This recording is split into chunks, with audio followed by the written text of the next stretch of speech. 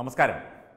ഈ ഹലാൽ എന്ന് പറയുന്ന പദം ഇപ്പോൾ ഒരുമാതിരി എല്ലാ പ്രോഡക്റ്റുകളിലും ഉൽപ്പന്നങ്ങളിലും ഇപ്പോൾ കാണുന്നു എന്നത് സത്യം പറഞ്ഞു കഴിഞ്ഞാൽ മറ്റ് മതവിശ്വാസികൾക്കിടയിൽ അതായത് ഹിന്ദു ക്രിസ്ത്യൻ മതവിശ്വാസികൾക്കിടയിലൊക്കെ വലിയ എതിർപ്പിന് കാരണമായിട്ടുണ്ട്.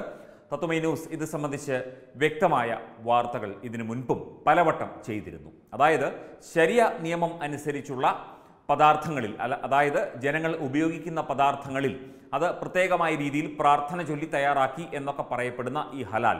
അത് മറ്റ് മതസ്ഥരെ അടിച്ചേൽപ്പിക്കുന്ന രീതിയിലേക്ക് മാത്രമല്ല ഭാരതീയ ഭാരതീയ ശാസ്ത്രമായ ആയുർവേദ ഉൽപ്പന്നങ്ങളിൽ അടക്കം ഇത്തരം ഹലാൽ മുദ്രണം ശ്രദ്ധയിൽപ്പെട്ടതിനെ തുടർന്നുമൊക്കെ നിരവധി തവണ നമ്മൾ ഇതിന്റെ സ്റ്റോറികൾ ചെയ്തിരുന്നു.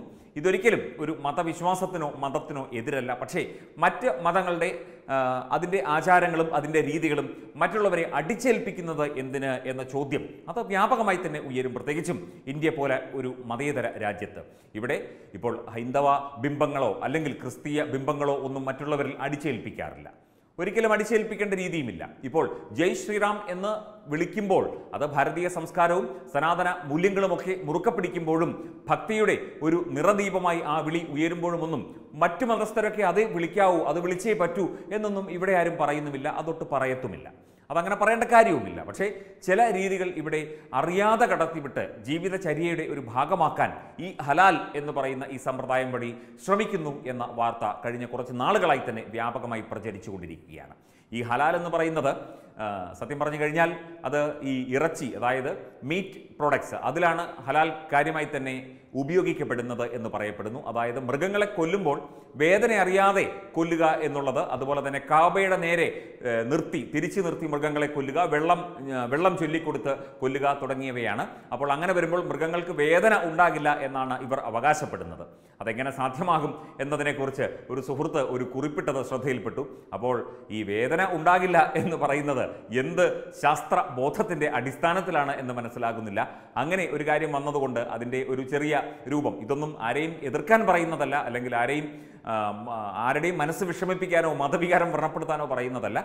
ശാസ്ത്രീയമായ ചില അടിസ്ഥാനങ്ങളുടെ ചില അറിവുകളുടെ അടിസ്ഥാനത്തിലാണ് ഈ ഹലാൽ ചെയ്ത് മൃഗങ്ങളെ കൊന്നാൽ വേദന ഉണ്ടാകില്ല എന്ന് പറയുന്നത്. എന്തുകൊണ്ടാണ്? അത് എന്ത് ശാസ്ത്ര എന്ത് ശാസ്ത്രബോധമാണ് ജനങ്ങളിൽ ഉണ്ടാക്കുന്നത്? അല്ലെങ്കിൽ അതിന്റെ ശാസ്ത്രീയത എന്താണ് എന്നുള്ള കാര്യം സംശയത്തിന്റെ രൂപത്തിൽ പൊതുസമൂഹം ചോദിക്കുന്നതിന്റെ ഭാഗമായിട്ടാണ് ഇത്.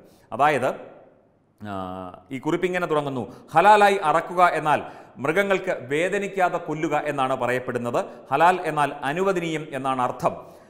ഇങ്ങനെയൊക്കെയാണ് അവർ പറയുന്നത്. ഹലാൽ എന്നാൽ കശാപ്പ് ചെയ്യപ്പെടുന്ന മൃഗത്തിന്റെ തല ക അബയുടെ നേരെ തിരിക്കുക. കശാപ്പ് ചെയ്യുന്നതിന് മുൻപ് വെള്ളം കുടിപ്പിച്ചിരിക്കണം. കശാപ്പ് ചെയ്യുമ്പോൾ ബിസ്മില്ലാഹി റഹ്മാനി റഹീം ആ മന്ത്രം ജപിക്കണം. അതായത് അള്ളാഹുവിന്റെ നാമത്തിൽ അള്ളാഹു വലിയവനാണ് എന്ന് പറയുന്നു. അതായത് കബയ്ക്ക് നേരെ തലവെച്ച് ദൈവത്തിന്റെ പേരിൽ അറക്കുന്ന മൃഗത്തിന്റെ ഇറച്ചിയാണ് ഇതിൽ പറയുന്ന അനുവദനീയം എന്ന വാക്ക്. അനുവദനീയം എന്ന് തന്നെയാണ്. വേറെ രീതിയിൽ ഒന്നും അനുവദിക്കാത്തത് കൊണ്ട് മാത്രം ഇത് കഴിക്കുക എന്ന് അർത്ഥം. അതായത് മറ്റൊന്നും കഴിക്കാൻ പറ്റാത്തത് കൊണ്ടാണ് ഇത്തരം ഹലാൽ ചൊല്ലി മൃഗങ്ങളെ അറുത്ത് കഴിക്കുന്നത് എന്ന അവർ ആ ഒരു ന്യായീകരണത്തെ കൂടി ഇവിടെ എടുത്തു പറയുന്നുണ്ട്. അടുത്തത് വേദന അറിയാതെ കൊല്ലുന്നത് എന്ന ഒരു വിശ്വാസം എന്ന വിശ്വാസവും അവർ പ്രചരിപ്പിക്കുന്ന ചില കാര്യങ്ങളും. അതിന് വേദന എന്തെന്നറിയണം. ആദ്യം വേദന എങ്ങനെ അറിയുന്നു എന്ന് നോക്കാം. ഒരു ജീവിയുടെ ശരീരത്തിൽ വേദന അറിയാൻ സാധിക്കുന്ന ഇടത്തൊക്കെ നോസിസെപ്റ്റർ അഥവാ വേദന അറിയാൻ സഹായിക്കുന്ന കോശങ്ങളുണ്ട്. ശാസ്ത്രീയം.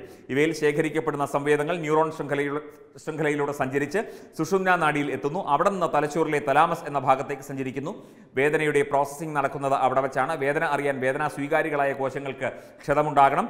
സുഷുമ്ന ആ ന്യൂറോൺ സംവേദനങ്ങൾ വഹിച്ച് തലാമസിൽ എത്തിക്കണം. തലാമസ് പ്രവർത്തിക്കണം. ഇനി നമുക്ക് ഹലാലിലേക്ക് വരാം. എന്താണ് ഹലാൽ കട്ട് എന്ന് ചോദിക്കുന്നു. മൂർച്ചയുള്ള കത്തി ഉപയോഗിച്ച് മൃഗത്തെ അറക്കണം. തൊണ്ട അന്നനാളം രണ്ട് സിരകൾ എന്നിവ മുറിക്കണം. അറക്കുന്ന സമയത്ത് മൃഗത്തിന്റെ തല മുറിച്ചു മാറ്റരുത്. പിന്നീട് മൃഗം പൂർണമായി മരിച്ചതിന് ശേഷം തലയറക്കാം. കത്തി സുഷുമ്നാ നാടിയിലേക്ക് പോകരുത്. അപ്പോൾ എന്താണ് പ്രശ്നം? ഒരായുസിന്റെ വേദന മുഴുവൻ അറിഞ്ഞു ചാകുന്ന കന്നുകാലികളെയാണ് ഹലാൽ രീതിയിൽ അറുത്ത് നാം തിന്നുന്നത് എന്ന് അതായത് തിന്നുന്നത് എന്ന് സാരം. അതായത് ഏറ്റവും ഭീകരമായ ഒരു കൊലപാതക രീതിയാണ് സത്യം പറഞ്ഞു കഴിഞ്ഞാൽ ഈ ഹലാൽ എന്ന് പറയുന്നത്. അവർ പറയുന്നത് ഇങ്ങനെയൊക്കെ തന്നെയാണ്. അതായത് സുഷുമ്ന നാടിയിലേക്കൊന്നും പോകരുത്. അപ്പോൾ തീർച്ചയായിട്ടും വേദന ജീവിതകാലം മുഴുവനുള്ള ആ ഭയങ്കരമായ മരണവേദന മൃഗം അനുഭവിക്കും. മൃഗത്തെ മൂർച്ചയുള്ള കത്തി കൊണ്ട് അറക്കണം. തൊണ്ട അന്നനാളം അതുപോലെ രണ്ട് സിരകൾ എന്നിവ മുറിക്കണം. അറക്കുന്ന സമയത്ത് മൃഗത്തിന്റെ തല മുറിച്ചു മാറ്റരുത്. അവിടെ കിടന്ന് വേദന അനുഭവിക്കണം. പിന്നീട് മൃഗം പൂർണമായി മരിച്ചതിന് ശേഷമാണ് തലയറക്കുന്നത് അപ്പോൾ ഇതിനൊക്കെ എന്ത് ശാസ്ത്രീയ രീതിയാണെന്ന് ചോദിച്ചുകൊണ്ടാണ് നമ്മുടെ സുഹൃത്തി കുറിപ്പെഴുതിയിരിക്കുന്നത് ഹലാലിനോടും കൂടം വെച്ച് തലക്കടിക്കുന്നതിനോടും ഒരു യോജിപ്പുമില്ല. ഈ രീതിയിൽ കൊന്നതോ ആയ മാംസം കഴിക്കാൻ വ്യക്തിപരമായി ഇഷ്ടപ്പെടുന്നവർ ഉണ്ടാകാം. പക്ഷേ സാധാരണ ജനങ്ങൾ ഇത്തരം ഇത്തരം ഭീകരമായ അവസ്ഥയും മൃഗങ്ങളെ ഇത്രയും ക്രൂരമായി കൊന്ന് തിന്നുന്നതിനെ ഒന്നും ഒരിക്കലും അനുകൂലിക്കാൻ യാതൊരു സാധ്യവുമില്ല. ഈ രീതിയിൽ ഏതാനും സെക്കൻഡുകൾ മാത്രം വിദേശത്തൊക്കെ നമ്മൾ കണ്ടിട്ടില്ലേ? അപ്പോൾ ഹലാൽ ചൊല്ലുമായിരിക്കാം അല്ലെങ്കിൽ ആ രീതിയിൽ എന്തെങ്കിലും അവിടെ നടക്കുമായിരിക്കാം. പക്ഷേ അവിടെയൊക്കെ വിതിൻ സെക്കൻഡ്സ് ഏതാനും സെക്കൻഡുകൾക്കുള്ളിൽ തന്നെ അതായത് വേദന എന്താണെന്ന് അറിയുന്നതിന് മുൻപ് തന്നെ അവിടെ മൃഗത്തിന്റെ മരണം സംഭവിക്കുകയാണ്. പിന്നീട് അത് മീറ്റ് പ്രോസസ്സിംഗ് യൂണിറ്റിലേക്ക് പോവുകയാണ്. അപ്പോൾ ഈ ഹലാൽ എന്ന് പറയുന്നത് വേദനിപ്പിക്കാതെ കൊല്ലുന്നതല്ല വേദനിപ്പിച്ച് മരണവേദന അനുഭവിപ്പിച്ച് കൊല്ലുന്നതാണ് എന്ന സാരം. ഇതൊക്കെ പറയുന്നത് ഇതിപ്പോൾ വലിയ കാര്യമായിട്ട് ചർച്ച ചെയ്യേണ്ട വിഷയമല്ലെങ്കിൽ കൂടി. കാരണം മൃഗങ്ങളെ കൊല്ലുന്നതും മൃഗങ്ങളെ തിന്നുന്നതും ഒക്കെ കാലങ്ങളായിട്ട് ഇവിടെ നടന്നു വരുന്ന കാര്യമാണ്.